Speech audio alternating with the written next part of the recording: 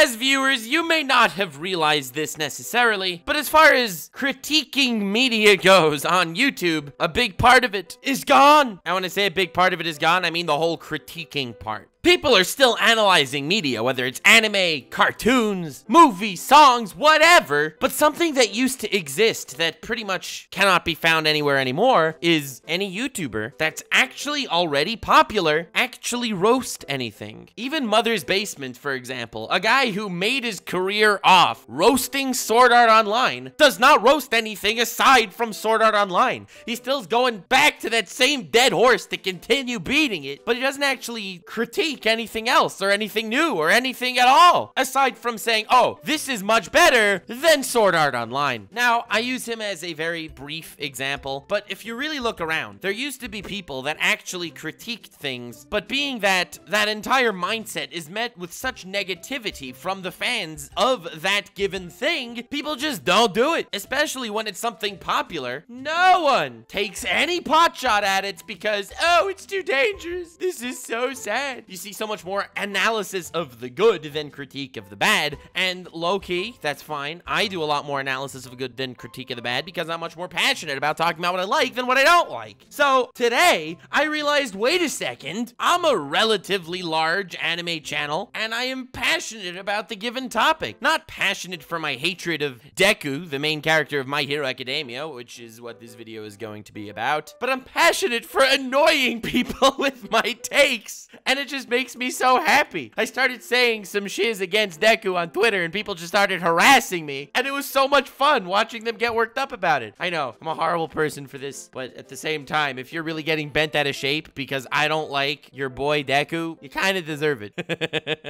so that is where my ever-flowing passion for this video is coming from. And because of that, I would like to ask you a favor. If you have a friend that really adores My Hero Academia or adores Deku, the protagonist, protagonist, oh, he's such a good boy, must be protected forever. Please, please share this video to the masses.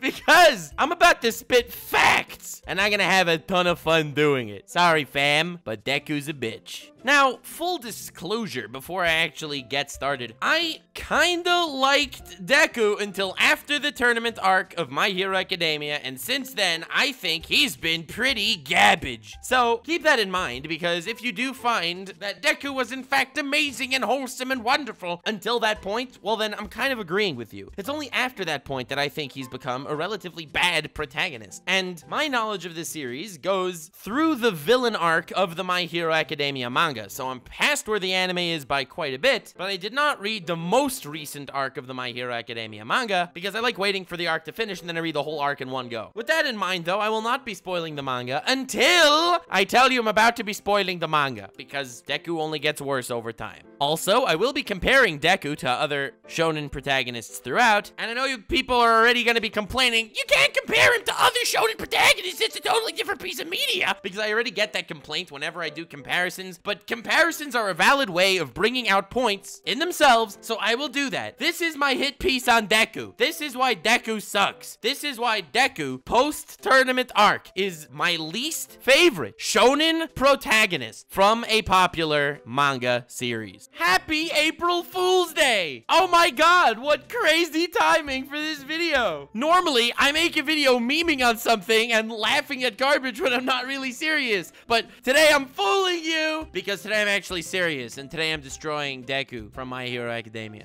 Got him! Oh boy, the comments are gonna be amazing to read. I am so looking forward to it. Hell yeah. Please leave me your comments of fortitude or and distress on why I'm either an amazing person or terrible person. Smash like on this video if you agree. And if you don't agree, but you appreciate hearing other takes, also smash like on this video. If you're too closed-minded to hear another opinion, well then, that dislike bar, it's all yours. We're gonna have to start for the beginning, because Deku, right off the bat, rubbed me the wrong way even though I just said I liked him until post-tournament arc.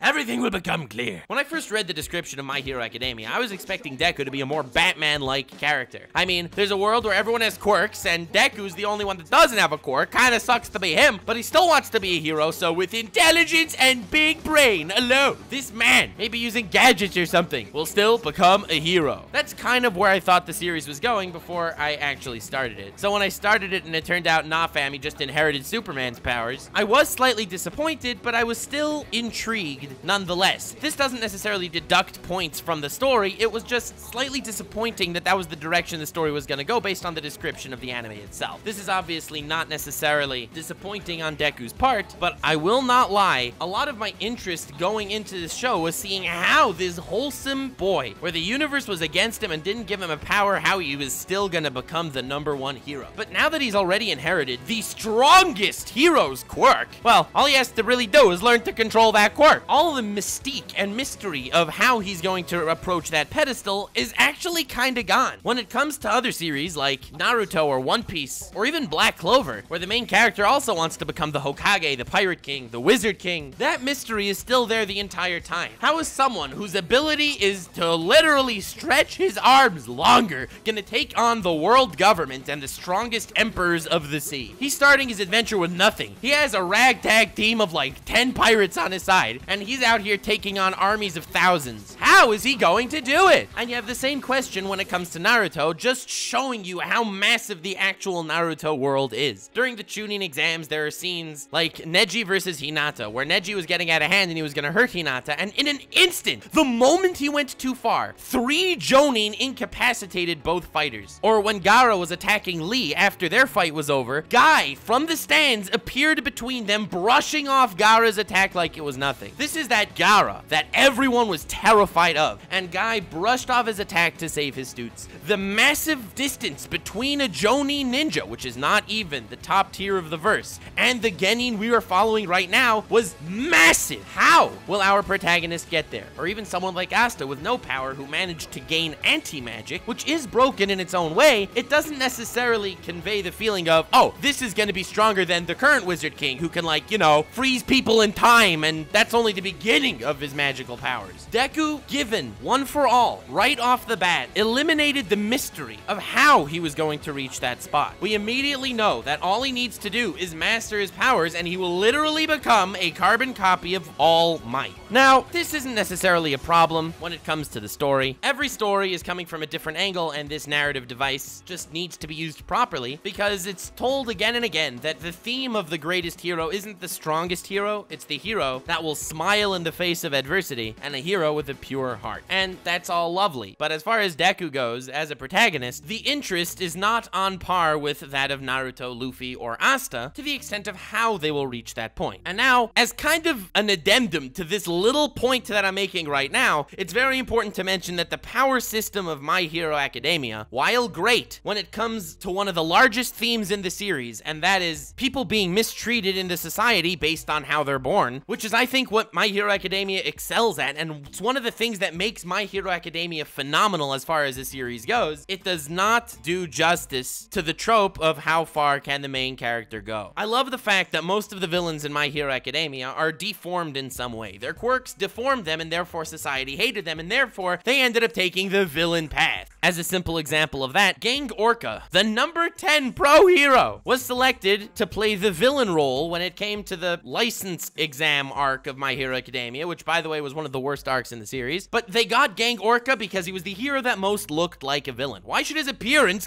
convey the fact that he's a villain? Well, that's because there are big social problems in My Hero Academia, and that's what makes the series so fascinating. But if you look at Deku, if this guy is given the strongest quirk, he'll become the strongest hero. That's almost expected. If you look at a world like Naruto, you got Lee or Guy, people who don't use any ninjutsu whatsoever, but they could still, through their hard work and dedication, make it to the top tier of the verse. That just goes to show that while natural talent is obviously super important, hard work can close the gap greatly. In My Hero Academia, unfortunately, that is not the case. If you took a guy without a quirk and he trained his ass off every single day and every single night, 15 year old Todoroki would annihilate him in an instant. And because of this, this, it immediately gives us a different perception of Deku before the series even really begins. Now, I'm going to be talking more about Deku's character, not just the circumstances underlying how he becomes who he becomes. He's immediately introduced as the character with the purest heart, and that's basically a given as far as shonen protagonists go on a generic level. I mean, so I have no complaint as far as that goes. The generic shonen trope of the good, kind-hearted, wholesome dude evolves to become super badass. I mean, look, I think Luffy's one of the greatest shonen protagonists of all time, and he does that justice really well. And on the flip side, Gon is also one of the greatest shonen protagonists of all time, but he's a borderline sociopath. Taking the kind-hearted route is great, and Deku just wanting to see people smile is amazing, and in fact, I'm working on a whole video praising My Hero Academia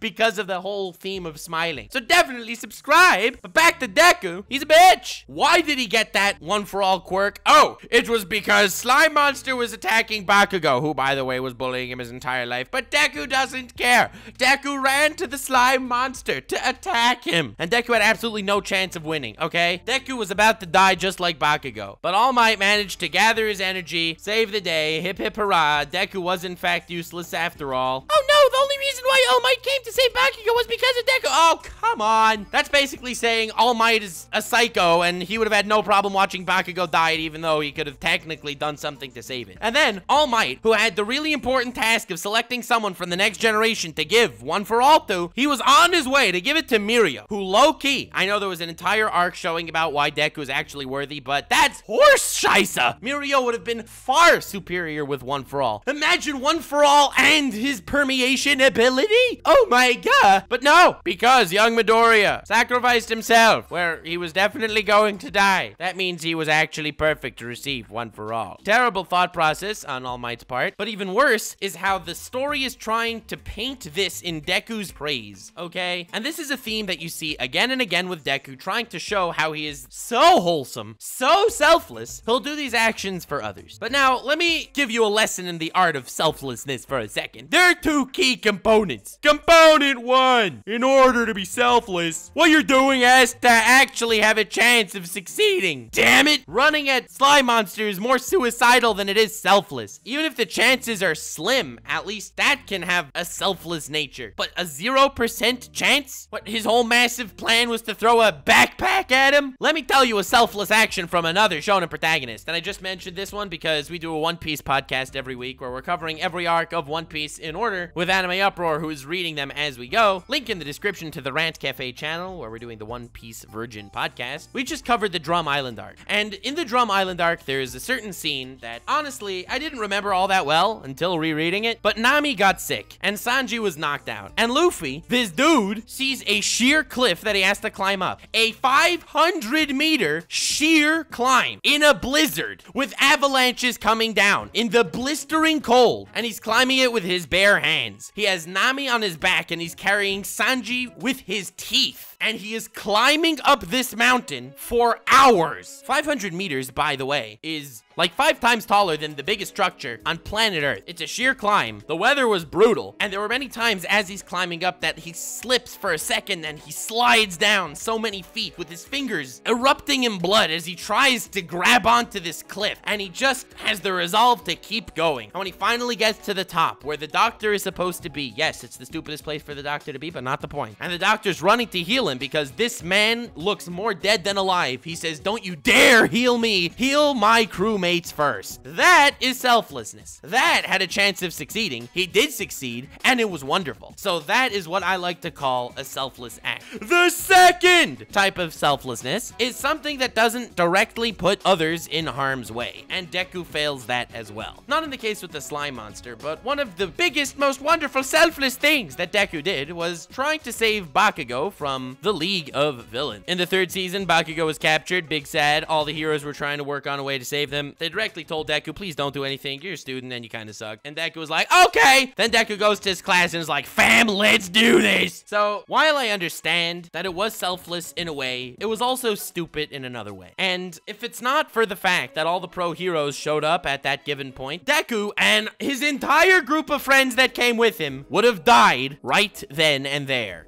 Oh, but it all worked out because the heroes did come and Deku ended up actually saving the day. Plot convenience and being an intellectually honest character are two completely different things. And while I respect it from a narrative standpoint, Deku's still a bitch. And he's a terrible example of a selfless protagonist. If you were to ask me the high point in Deku's career, it's when he fought Todoroki during the tournament arc. He's trying his hardest to become a hero. His dream, his life is contingent on becoming this hero. So in this tournament arc, where there's no massive ramifications when it comes to beating your opponent, and he's fighting Todoroki, he lets Todoroki win. Well, not really, but he doesn't go full force until Todoroki starts using his fire powers, which inadvertently saves Todoroki from the massive depression shell that he was locked in. Deku versus Todoroki is one of the high points of My Hero Academia for me, and it's the real reason why I say Deku only becomes absolute garbage after the tournament arc of My Hero Academia. What is Deku's narrative? Deku's narrative is this guy who's pushing forward, and he's so selfless, and he wants to see other people smile. He's willing to accept the self-sacrifice and burden of saving everyone, carrying everyone on his back with a smile. So that's why I really like this fight. In this fight, in order for Deku to reach that level of hero he wants to become, he has to really try to win. But by winning and beating Todoroki only using his ice powers, the ideal of actually saving every person is something he has to sacrifice. In order to be the hero, i.e. save Todoroki from the shadow that's enrapturing his heart right now, he has to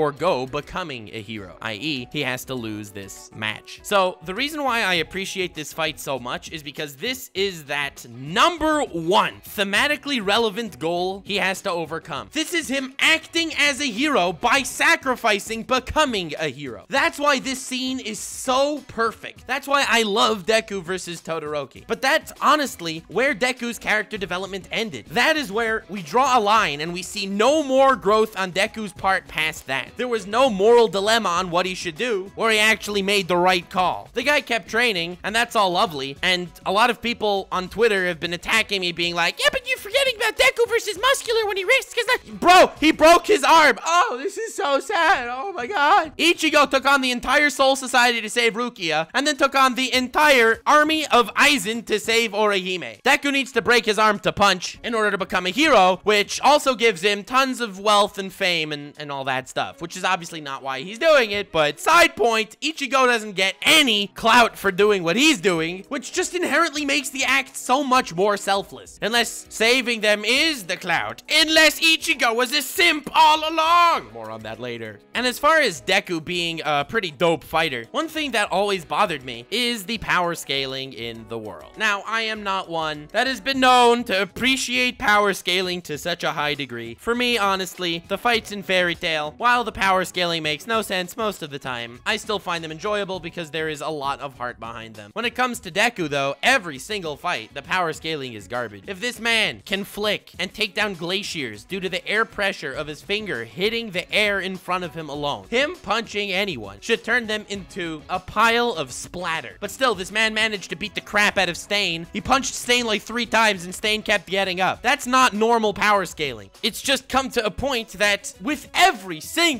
aspect of Deku's character, I cannot take this wide-eyed, idealistic kid seriously. His heart's in the right place, but his head's not, and yet the series is still bending over backwards, going through hoops, making things work out for him in the end. If you want to compare Mirio versus Overhaul to Deku versus Overhaul, the obvious first thought is, well, Deku versus Overhaul was way better. First of all, it was longer. Second of all, the animation was better. Third of all, the climax of the fight was just amazing. And if you think that way, you kind of missed the point of Mirio's entire character. Mirio's existence is a slap in the face of what Deku should really be in My Hero Academia. Just for a moment, try and compare the two before I explain the difference between their fights with Overhaul. Deku and Mirio both wanted to be the number one hero. They both had the same dream and the same aspiration, and here was the difference. Deku had no quirk and therefore had no feasible way of actually getting to that point, while Mirio had a quirk that at the point of his control over his quirk, he was useless.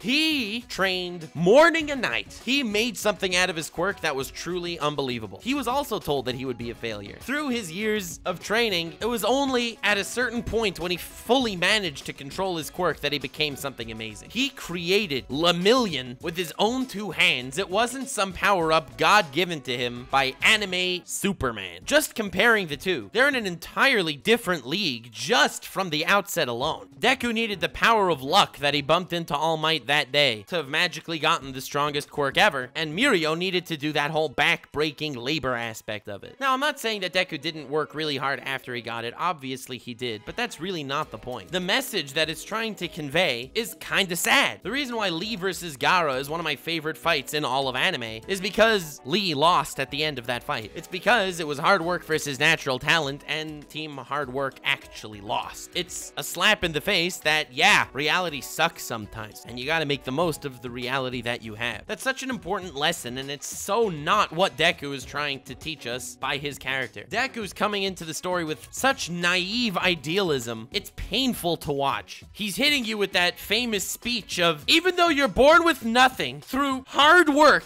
and the power of wholesomeness alone, you will reach the greatest of heights. And you know what My Hero Academia tells you? Nope, that's not true. You just need to be lucky enough to bump into Superman and him to be in a giving enough mood to give you his powers because you made a terrible decision to attack a new age hentai monster, which would have absolutely killed you. Great answer, My Hero Academia. Great protagonist that you're trying to slap us with. If you compare it to Asta for a moment, because Asta's also someone who had no powers until he magically got this really badass sword that nullifies magic. In a way, you could say that this complaint that I'm having about Deku is the same against Asta. So why am I making this whole hit piece on Deku and not Asta from Black Clover? I mean, honestly, making fun of Asta would get me way less hate than making fun of Deku. Shouldn't I go down that route? Well, bold of you to assume that the hate is not what I'm looking for. That's first. And secondly, no. Most of Asta's fights aren't actually won purely because of his anti-magic. Obviously, it helps. Obviously, the shonen ideal of accomplishing the impossible is actually great. But Asta, according to the author, is the second strongest character in the entire Black Clover series on a physical level. Not including magic, this guy would body mages just because he's a physical tank. That's one. Two, he was hoping that when he turned 15 and got his grimoire would unlock magical powers. And when it didn't, this man kept training his body. He wanted to actually help people and he wanted to do better. He wanted to become a wizard king without having magic. An ideal that's ridiculous. But while it would have been impossible for him to do without obtaining this anti-magic, at least the Mad Lad did something productive on his own, unlike Deku. But going back to Overhaul for a moment, because this arc contrasting Deku to Mirio was really the nail in the coffin to Deku's character, and it's really honestly where Deku only started getting worse from that point. But before getting into the entire meat and potatoes of that Overhaul fight, if you notice, it ended up with Deku winning against Overhaul in essentially a one versus one. Yes, he got that ultimate Eri bonus Mario Mushroom power-up, but it was, in effect, a one-on-one -on -one fight. Focusing on how Asta wins his battles, almost every key fight in Black Clover is where a group of good guys have to work together seamlessly in order to defeat a far more powerful adversary. And that's a theme from the very beginning of the series. Even when Asta obtains this crazy anti-magic, he never actually one-shots these massive opponents. When he was up against Vetto, who was already slightly tired by wiping out most of the Black Bulls guild, they only won with this crazy strategy where Asta would attack full force without needing to worry about any repercussions or if he would get hit, because that is all on the shoulders of his two support fighters. Vanessa, the string mage, who would constantly yoink him out of tough positions and yeet him into portals made by Finral, where he would constantly and consistently open them to save Asta and to put him in a position where he could attack. Asta's focus was solely on the offensive, where the entire defensive was on the shoulders of these mad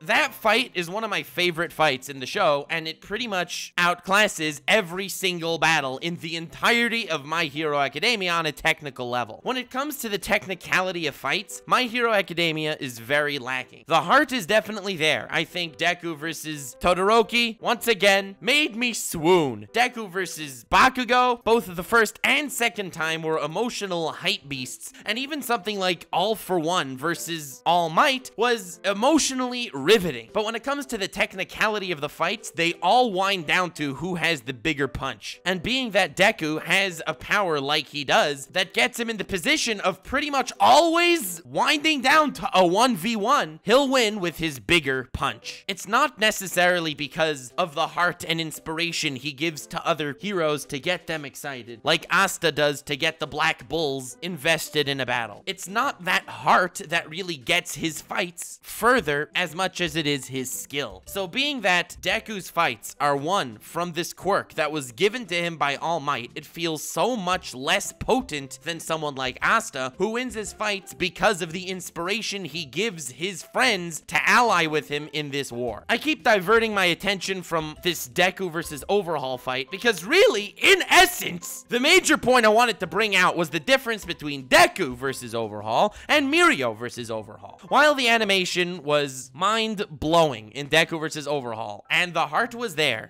and Eri needs to be protected for all of eternity because she has a smile that must be protected more than the spoilers that Bakugo dies in the manga. Wow. Can't believe I let that slip out. Oops. Wow. I guess you all know now. Oh, shame that there's no way to cut this piece of the audio out. Oh, I'm sorry, guys. Oh, this is so sad. F's in the chat. So while the fight Deku versus Overhaul was amazing, and I am stressing it was amazing, it's not because of Deku's character. This video is not to slap My Hero Academia around at all. I love My Hero Academia. It's to slap around that bitch ass Deku. Now, if you look at Mirio versus Overhaul, it didn't have that stupendous animation. It didn't add on to what the manga's bare bones choreography was. It was much shorter than I anticipated in the anime version, but it will always stand out in my mind as one of my favorite fights in My Hero Academia, and I cannot say the same for Deku versus Overhaul. And here's why. What is the spirit of a hero? What is this show really trying to teach you about what a hero is all about? A hero is what Mirio was in that point. A hero is not the ridiculously overpowered dude that's fighting villains. One of the most key themes of the entire series is that Deku got his one for all quirk because he ran up to the slime monster where he was gonna get eaten. It's because of that spirit. It's not because you're strong. You have someone like Endeavor. The series is painting him over and over again and again that even though he is a character that saved thousands of lives and he's really powerful and he's beaten more villains than even All Might, he can't be painted as a hero until his redemption, whatever. Endeavor's my second favorite character in the entire series because of how important he is to the core themes of the show itself. But if you look at Mirio, he's amplifying every little aspect of what it takes to be a hero. Can you imagine someone like Mirio who lived his whole life inferior to everyone around him with a quirk that was so impossible to use and navigate through, he could never do anything until he mastered it. Through his hard work and his tears and his dream of saving 1 million people, he managed to master his quirk for selfless reasons, and with a big smile on his face, this man is an absolute beast. He took on the entire 1A class. He was the candidate that All Might was supposed to give one for all to. He was Night Eye's protege, and he's my favorite character in the entire story. Why is he my favorite character? In part, it's because he didn't get a happy ending in the overhaul arc. Now, I'm sure that we'll end up with a happy ending as far as Mirio's character goes. I'm sure that Eri will find a way to reverse reversing his quirk, and everything will go back to normal. But as it is right now, at the end of that arc, the absolute Chad, Mirio, Phantom menaced the crap out of so many of Overhaul's lackeys, and he was gonna beat Overhaul. He didn't need any Eri buffs. He was just gonna do it himself. And then someone takes a bullet and fires it towards Eri. Now this is a hero. This is someone who just sacrificed his absolute entire life. His whole life was working on honing this quirk to its absolute best so he could save a million people. Now he gets this really tough emotional and moral dilemma. If he doesn't jump in front of Eri, Eri will die and he will remain with his quirk to continue trying to save people. But he will then forever be living his life as the person that didn't save that poor little girl that he was able to save, which goes against every fiber of his being, and he jumped in front of a bullet. A bullet that's far more terrifying than just piercing someone's flesh. A bullet that stripped him from his quirk, which thereby stripped him of his dreams, stripped him from his purpose. That is the bullet that killed Lemillion. That scene is so powerful for me. It's a scene that should have and deserved to be fitted for a protagonist of a series. Mirio is one of my favorite characters in all of anime, and he was given such a powerful scene right here. That is exhibiting the true emotions of a hero. Deku versus Overhaul did not. Deku just punched him really hard, and he got his buffs, and it was emotional as well. And I'm not trying to take anything away from that fight, but it was completely overshadowed by the display of heroism by Mirio in that given moment.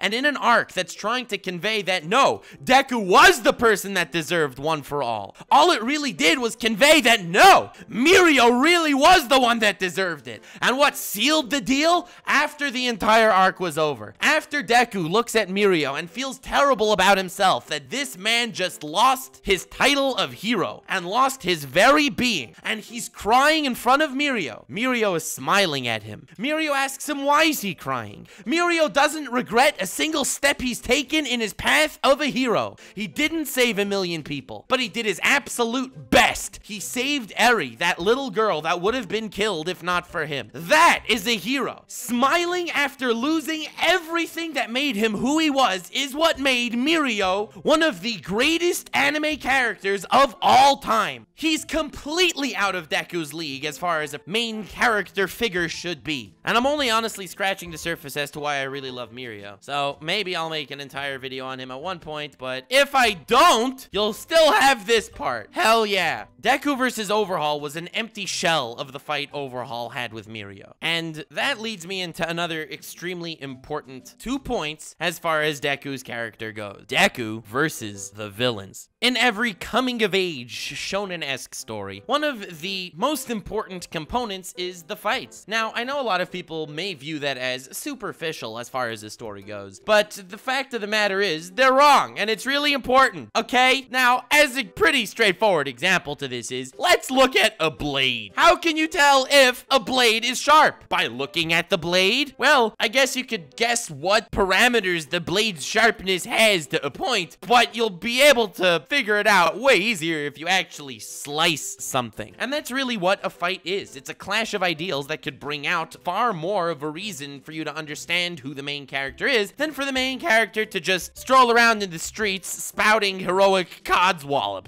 Ah, yes, I also want to save a million people, I say from my butthole, strolling down the street. But it's really when it comes to the test that you really know how the individual feels, how fake they are, and on the contrary, how real they actually mean what they mean. Now, in order for this to actually exist, there needs to be this clash of ideals to promote what we're talking about here. And I have to say, Deku sucks at that too.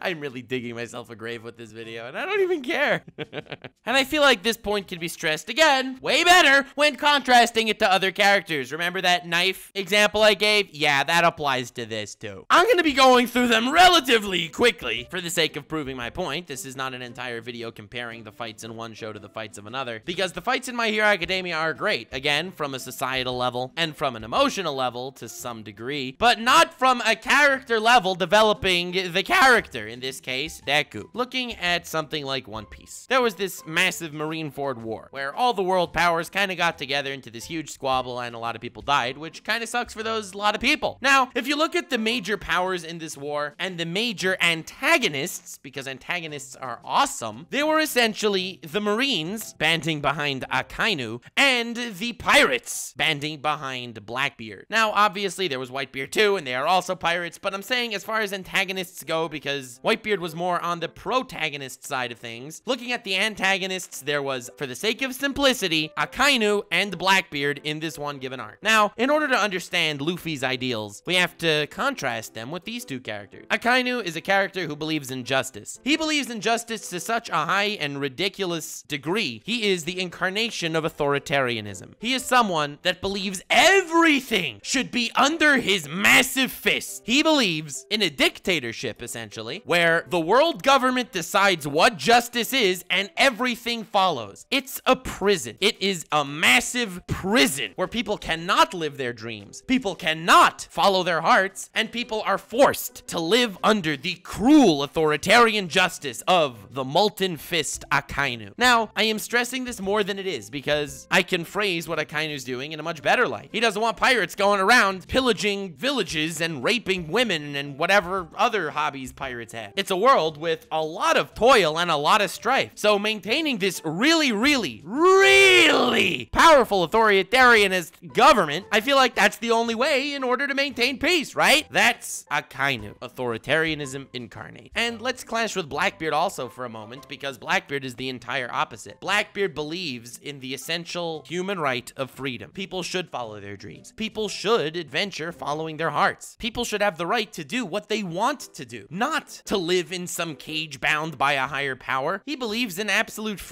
not authoritarianism. But once there's absolute freedom, once anyone can do whatever they want, all of a sudden, bad people can do what they want, and bad people very often want bad things. That's right. Essentially, Blackbeard's mindset is the mindset of anarchy. He wants to throw the world into anarchy. A world where it's survival of the fittest, where the strong oppress the weak because they're following their dreams. Now, being that Luffy's clashing with each of them, you get to really get an idea of who Luffy is. Luffy agrees in the fundamental idea that people need to be free and not in a cage, kind of like Blackbeard, but at the same time, you can't have bad people gallivanting around doing whatever they want, oppressing people, that they have to be caged, kind of like Akainu. Luffy's finding that middle of the road. Luffy's really paving his own path in this massive world, where he's taking the best of anarchy and the best of authoritarianism and creating his whole new ideal of freedom that he's trying to give to the rest of this universe that he inhabits. That's what makes Luffy amazing. It's because we get to see how he clashes with these other characters. Deku does not have something like that. He has this abstract idea of justice and smiling and being a pillar of hope. But even comparing that to other characters, it doesn't ring as powerfully. And I don't even need to go that far. It's not just that it doesn't ring as powerfully, it doesn't stand out in the show he's in at all. Why is he the protagonist? The protagonist is someone that we should look up to above the other characters, at least to some degree. It should be his story of how he grows from Lilliput to absolute mad lad. I don't want to watch the average character in the show go from a, a slightly less average character to a slightly more average character. That's not a tale that I want to witness. But you see again and again that there are so many characters in this show that have the same ideals he has. He has no ideals that stand out from All Might. There is nothing that makes his idealistic approach to the universe any different than his masters. Mirio was able to exhibit it to a higher level, being that he had this great contrast, being that he had this adversity thrown at him in regards to taking that bullet from Eri. But Deku, honestly, he doesn't exhibit any more of that heroic ideal than someone like Kirishima from his own class. But again, I'll throw some other characters at you to try to get that point across a little better. Let's look at Naruto. All right, so honestly, Naruto's climax in the show, I said it before and I'll say it again, it was Naruto versus Pain, and that fight was everything you could want in a massive final battle for a protagonist. He went from a character that was hated and exiled essentially from his entire village. Everyone hated him and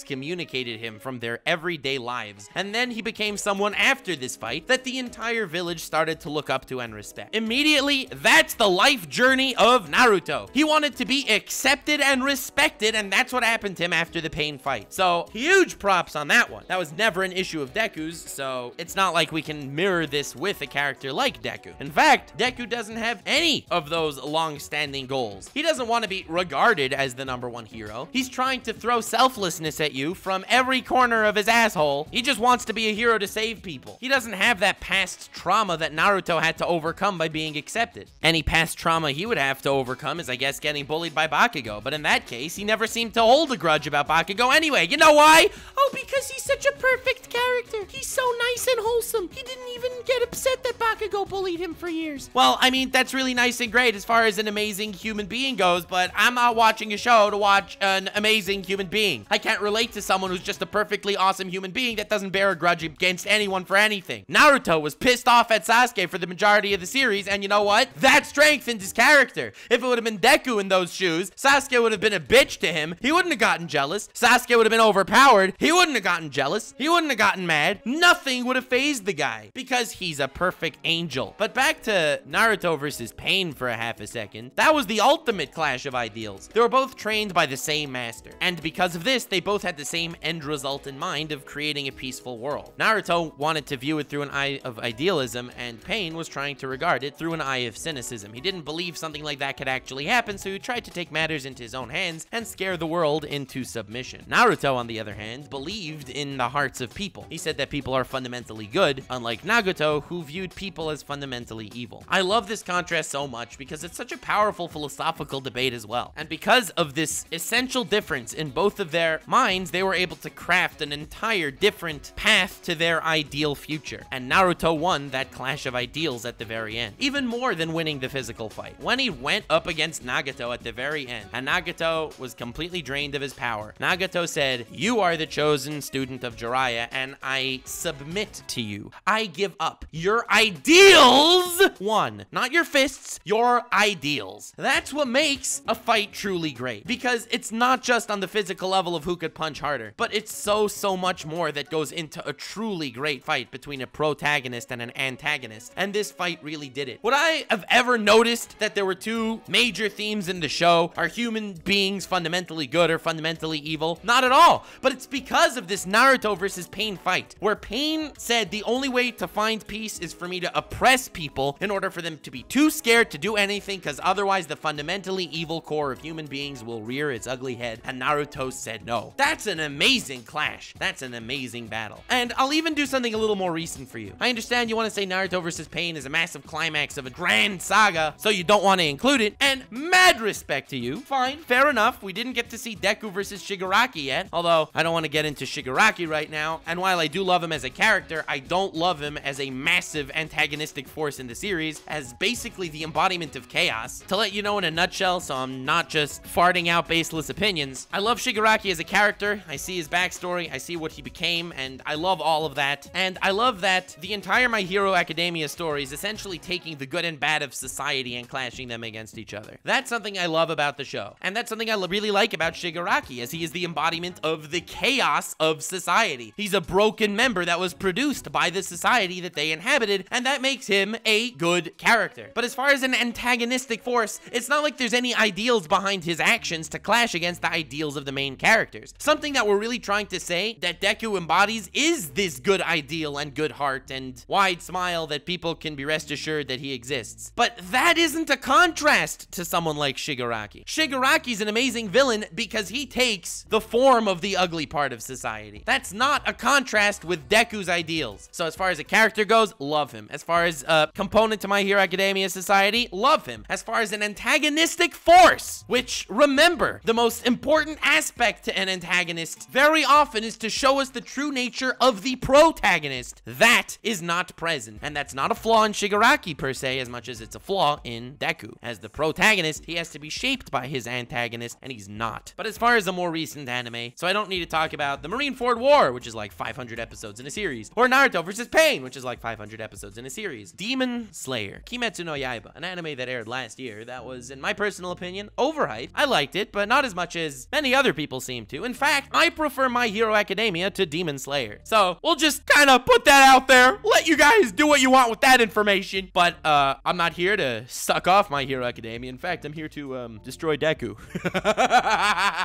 Welcome to the world of Demon Slayer, a world with humans and demons. Demons are regarded as rather unapologetic individuals that, well, they, they try to kill because they try to kill humans, so we try to kill demons. Kind of makes sense. I get all of that. So in this world, neither the demons nor the humans can actually understand the other side of the coin. The humans hate demons with a passion, and the demons view humans as a food source and hate the demon slayers with a passion because, well, they're trying to kill them, so I kind of get it. So being that that's the actual backbone of the demon slayer verse, welcome, Tanjiro. Welcome, the protagonist. A character that does not live that generic ideal of kill demons. He tries to kill these demons because they're eating humans, but he tries to understand them. He tries to kill them in the most painless way possible. He tries to feel their emotions and feel bad for them. He tries to live their ambitions and ideals out as well. He feels terrible for what they have become. He hates that he has to kill demons, but he has to kill demons. He tries to appease every single demon he kills as they die. He does his absolute best in that regard, and he has a compassion towards these demons that no one else had. And it's not just because he's a moral Jesus that was born upon the world like Deku. Everyone praised Deku for his absolute superior morality. Let's praise this kid forever. No, that was really not where he was coming from at all. I would argue that's the opposite of where he was coming from. He was also someone who always hated demons. It's only when his sister became a demon and he loved his sister and tried his hardest to keep his sister safe that he realized, wait a second, demons aren't inherently evil. Nezuko isn't trying to eat him at every given point in time. And that's when he really begins begins to grow emotions towards these demons. That's when he begins to actually feel bad for them. They're all tragic human beings that were turned into these creatures by even more vile creatures. It's because of the situation he's in and all his character growth put together that made him who he is. Now, Tanjiro is not my favorite character in Demon Slayer. He's not my favorite shonen protagonist of all time, but it's because he's clashing with these demons and showing them this compassion at the very end of their lives that you can really see who he is. He really gets honed as a character because of the battles he fights. It's something that lets him stand out from every other Demon Slayer on the planet and really give you, the viewer, a much, much deeper glance into what's really going on in the psyche of these humans and demons, and how everyone is viewing it slightly screwed up, whether on one side or the other. And speaking of Deku versus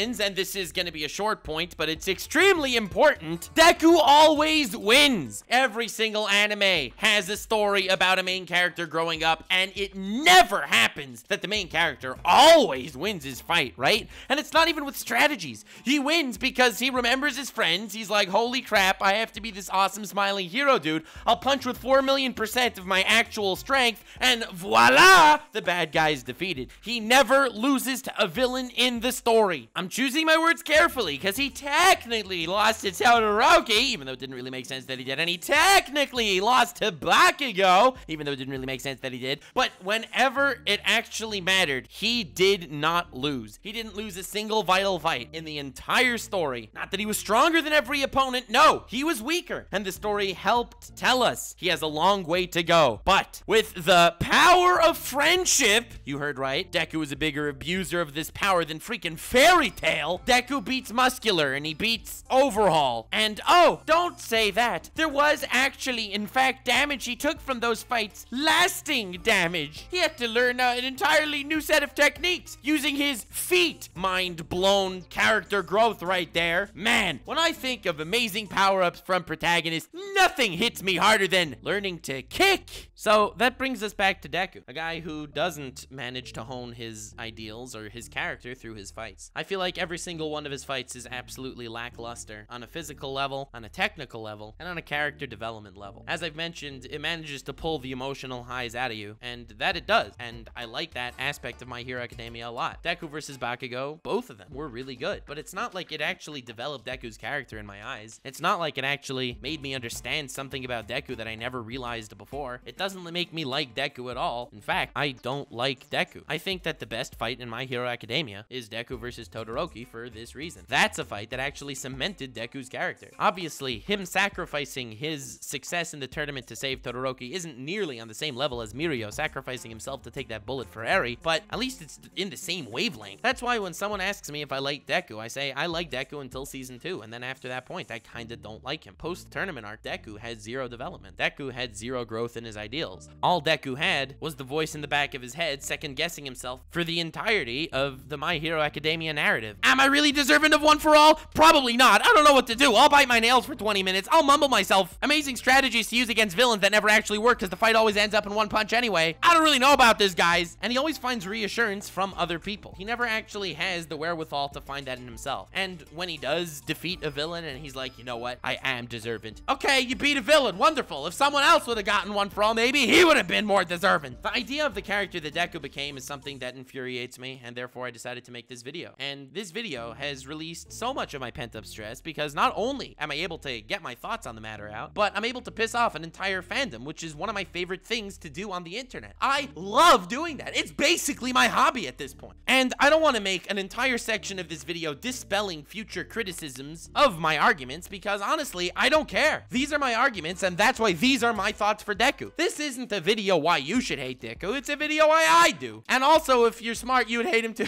I'm sorry, I just had to say that. But I already know people are going to say, no, if you look at Deku, he has grown. He doesn't cry as much. That is such a weak mindset. That is the most superficial aspect of his character. Oh, he was a coward and now he's less of a coward. Wow, look at this character development right here. Holy moly. But it doesn't create an image of who Deku is. It's just, oh, now he's a less cowardly hero. Hurrah! Every single arc has Deku giving himself an inner monologue of, I'm stronger now. I'm a better hero now. I won't cry anymore. And honestly, those monologues are kind of boring. It's like Deku telling the reader, hey reader, watching me? That's right, I had something called character development. Read it and weep, bitch. And he's done that many times throughout the story. I could keep going on, but I feel like I really painted a really good picture on why Deku sucks. Deku's a terrible protagonist, and I feel like almost every other shonen protagonist from mainstream shonen is actually better. I'm not gonna mention every single one. I mean, I mean, I feel like I don't need to say why uh, Gon is actually a much better character than Deku, because if you don't think that way, then you either haven't seen Hunter x Hunter, or you have four brain cells that you're rubbing together to try and produce some electricity. Or it's just personal taste. Personal taste is completely justified. If you like Deku, power to you. I'm happy. You get to enjoy a show. Huge flex. I, on the other hand, am gonna be doing the bigger flex. I'm gonna be a masochist while reading the comments of this video because I am looking forward to them. I am spitting straight facts, love it or hate it, and I'm doing the best of all these things, annoying the crap out of an entire fandom. So, if you also like to laugh at toxicity, do me a favor, yeet this video to your friends. Give this boy a share. Send this to like My Hero Academia fans especially, or people that like hating on My Hero Academia, that works too. But anyway, while I talked a lot in this video about what I like about My Hero Academia, I'm hopeful that you enjoyed this earnest take on why Deku's trash. And I could have made it longer, but honestly, I didn't have patience to talk about Deku for that long. Like, I have so many paragraphs in my script that I cut out because I just don't want to talk about him more. I don't like this character. And I'm not afraid to say that like some other people seem to be afraid of dissing popular shows. I like memeing a lot. Memeing is wonderful. And while I do consider this video a massive flex on the My Hero Academia community that doesn't say a bad word toward this lovely angel, and I am memeing to some degree in regard to how far I took this rant.